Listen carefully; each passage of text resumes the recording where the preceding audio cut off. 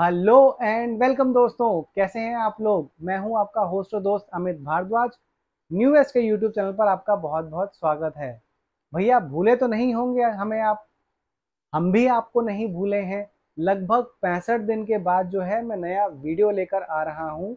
मैं कुछ दिनों से अपने यूट्यूब चैनल पर जो है दोबारा वापस गया तो मुझे पता चला कि मेरे काफ़ी शुभ चिंतक और जितने भी मेरे व्यूवर्स हैं वो मुझसे पूछ रहे हैं कि, सर, आप कहाँ गायब हो गए?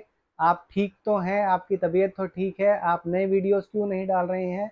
तो उन सभी शुभ चिंतकों को और व्यूवर्स को मैं बता दूँ कि मैं बिल्कुल ठीक ठाक हूँ। ज़िंदगी में थोड़ा सा व्यस्त हो गया था, जिसकी वजह से कि वीडियो बनाने का टाइम नहीं निकल पा रहा था। बीच में मैंने काफ़ी सारे मैचेस भी मिस किए, मैं उन मैचेस को देख नहीं पाया और आपके समक्ष ला भी नहीं पाया। बट अब ज़िंदगी की व्यवस्था थोड़ी सी कम हुई है थोड़ा सा बिज़ी जो है, मैं कम होना शुरू हुआ हूँ। आज विजयदशमी है तो एक तो सबसे पहले आप सभी लोगों को दशहरा की, यानी कि विजयदशमी की बहुत बहुत शुभकामनाएँ।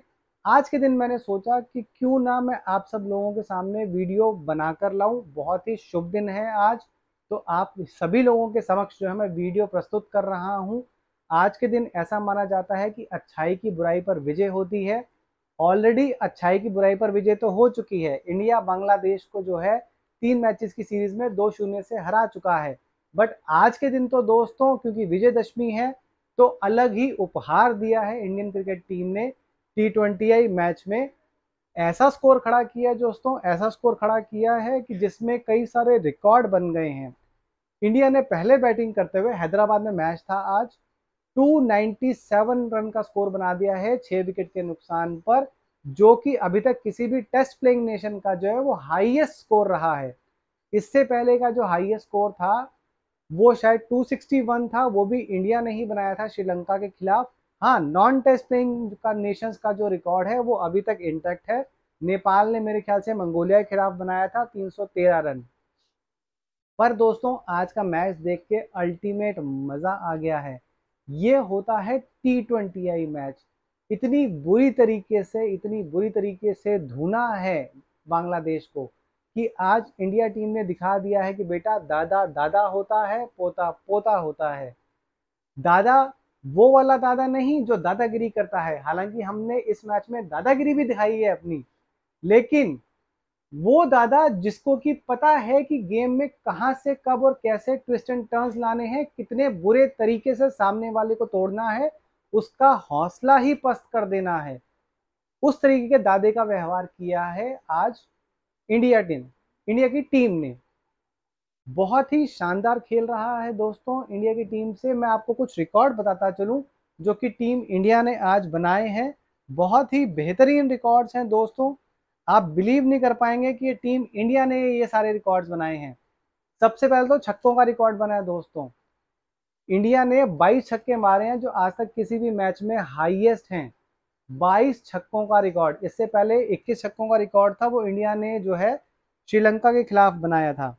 और जो रिकॉर्ड बने हैं दोस्तों, वो है बेस्ट पावर प्ले का स्कोर, छह ओवरों में बयासी रन, एक विकेट देकर।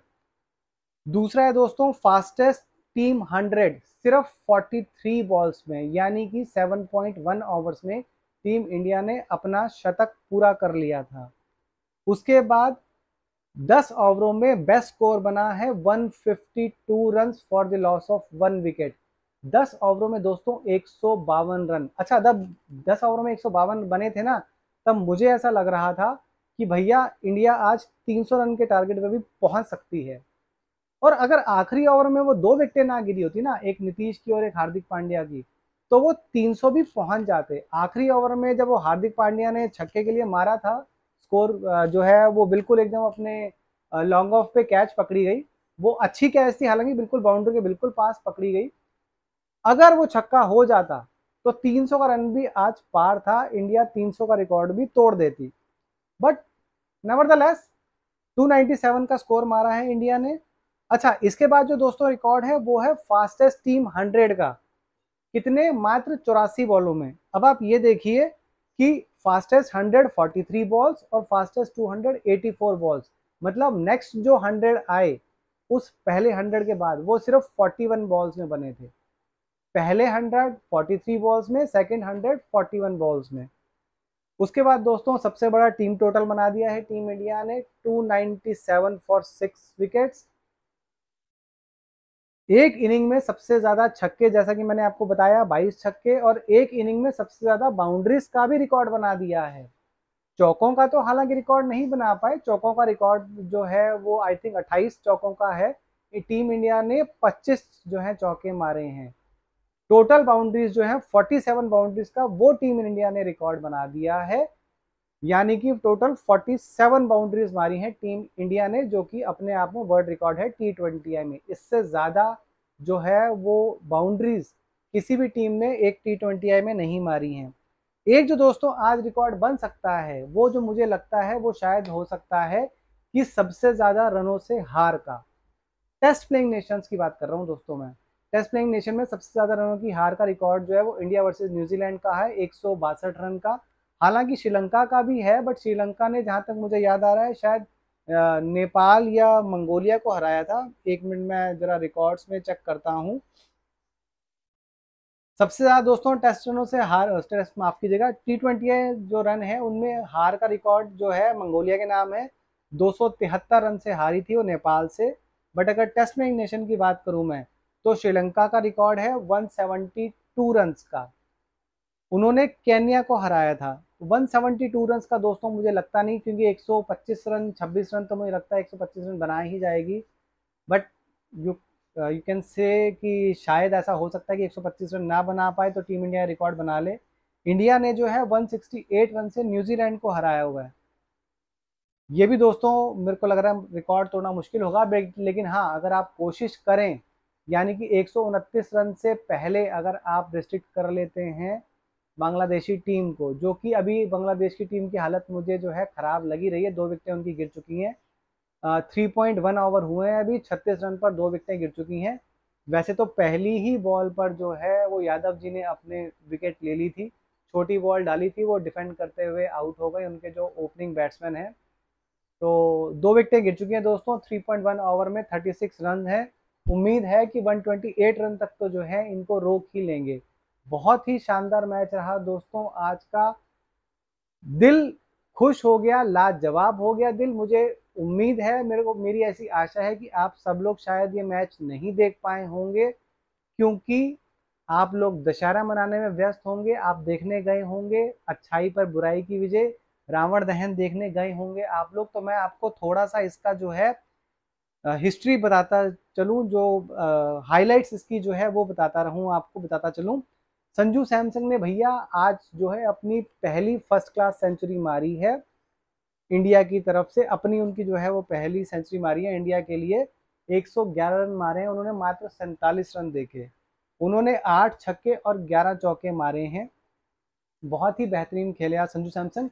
एक ओवर में उन्होंने जो है तीस रन ठोके। लगातार पाँच छक्के जो है उन्होंने ठोके थे। बॉलर थे राशिद हुसैन।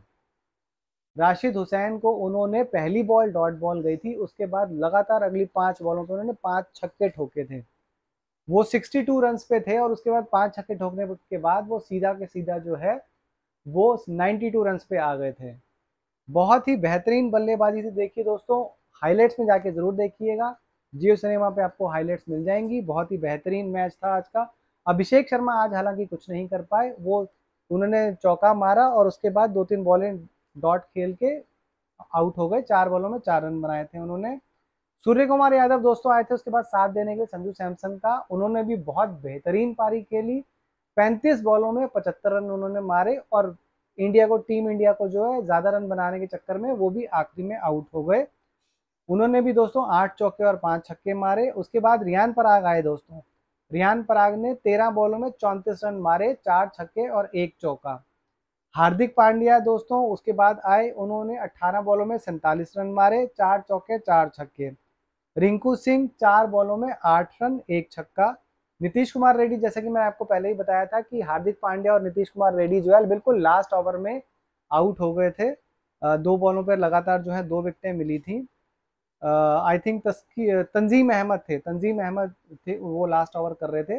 उनको शायद सेकंड और थर्ड बॉल थी उस पर पहले हार्दिक पांड्या आउट हुए छक्का मारने के चक्कर में वरना टीम इंडिया जो है 300 uh, बना जाती अगर वो कैच आउट नहीं होते तो।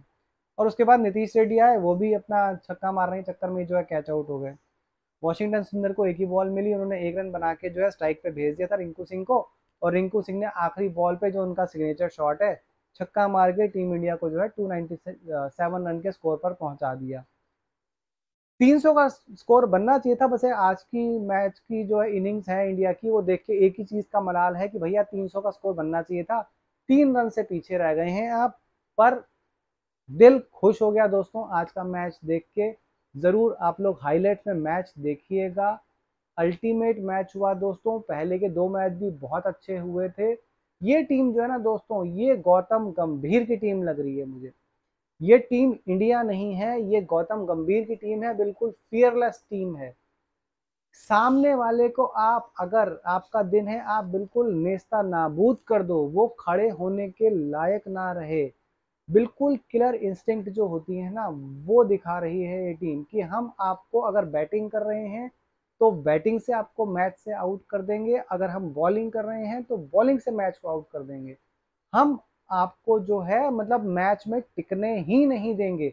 आप जैसे कहते हैं ना कि you just give us a slight hint through the door और हम उस दरवाजे को तोड़कर जो है, वो अंदर घुस जाएँगे।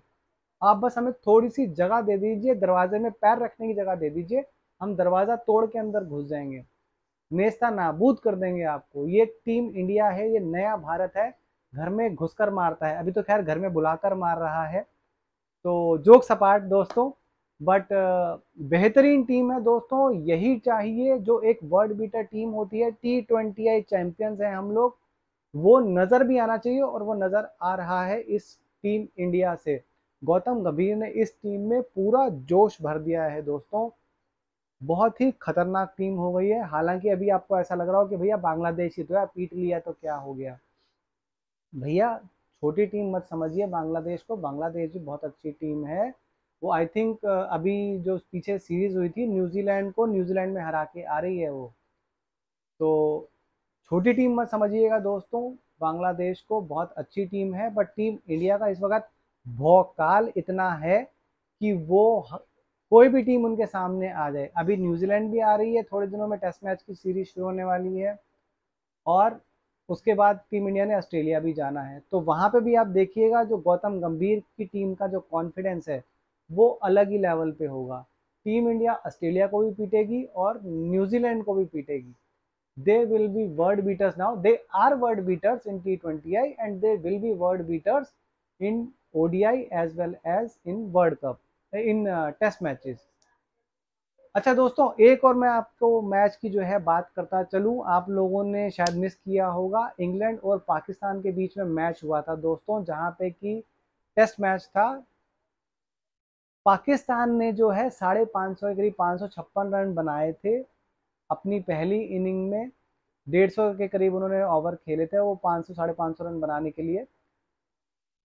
इंग्लैंड ने अपनी बेसबॉल क्रिकेट से आई थिंक 823 रन मारे। अपनी पहली इनिंग में, उनने भी डेढ़ सौ ओवर लिए, डेढ़ सौ ओवर में 823 रन मारे और तकरीबन 270 रन की, के करीब की उन्होंने जो है, वो पार्टनरशिप पार्टनरशिप कह रहा हूँ लीड दी थी पाकिस्तान को इनिंग्स के जो है कि आप सेकेंड इनिंग में आइए और अपनी डेफिसिट को डेफिसिट दिया था डेफिसिट आप पूरा कीजिए, दो बहत्तर रन का था मेरे ख्याल से। 823 रन ठोके दोस्तों 150 ओवर पाकिस्तान ने खेला 150 ओवर अपने बेसबॉल स्टाइल में इंग्लैंड ने खेला। दो सौ बहत्तर रन के आसपास की लीड दी थी और 240 के आसपास 30 के आसपास जो है उन्होंने पाकिस्तान को आउट कर दिया। मुल्तान की बिल्कुल पाटा पिच थी दोस्तों। लगभग साढ़े पंद्रह सौ रन बने अपने पाँच दिन के पूरे मैच में। लेकिन इंग्लैंड ने दिखा दिया पाकिस्तान को उनकी औकात। बिल्कुल घटिया स्तर की पिच थी, बिल्कुल बैटिंग पिच थी, लेकिन बेसबॉल क्रिकेट से जो है उन्होंने दिखा दिया कि भैया, हम किसी भी लेवल से, किसी भी तरीके से जीत सकते हैं। हम इतनी तेज़ी से स्कोर करते हैं कि आपको खड़े रहने का, संभलने का मौका नहीं मिलता है। तो वो भी दोस्तों एक बेहतरीन उदाहरण था कि कैसे आप किसी भी सिचुएशन से इतना डाउन होने के बाद साढ़े पाँच सौ रन पाकिस्तान ने लगा दिए थे, वहाँ से भी आप कैसे किसी दूसरी टीम को मैच हरा सकते हैं। बहुत ही बेहतरीन उदाहरण था दोस्तों वो। अगर आपने नहीं देखा है तो ज़रूर देखिएगा वो मैच भी हाईलाइट्स में। पाकिस्तान की बेइज्जती जब होती है तो देखने का और अलग ही मज़ा आता है।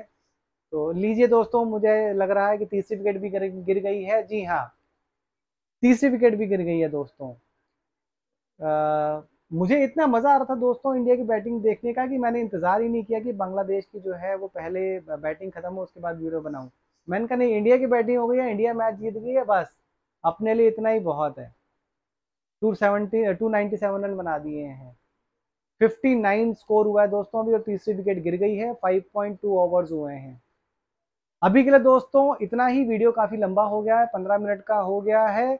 आप लोगों को भी शायद देखने में अगर ज़्यादा बोलता रहूँगा तो मज़ा नहीं आएगा। वैसे भी काफ़ी दिनों के बाद आ रहा हूँ तो यार इतना लंबा वीडियो बनाना थोड़ा मुश्किल ही होता है। अभी के लिए दोस्तों, अपनी वाणी को विश्राम देता हूँ। जल्दी आप लोगों के सामने फिर से आऊँगा। जल्दी आप लोगों से अब जो है, कोशिश करूँगा कि जल्दी जल्दी वीडियो बना के आपको मिलता रहूँ, आपसे जुलता रहूँ और आप सभी की शुभकामनाओं के लिए दोस्तों ढेर सारा धन्यवाद। एक बार फिर से दोस्तों, आप सभी को दशहरा की यानी कि विजयदशमी की ढेरों ढेरों ढेरों शुभकामनाएँ दोस्तों।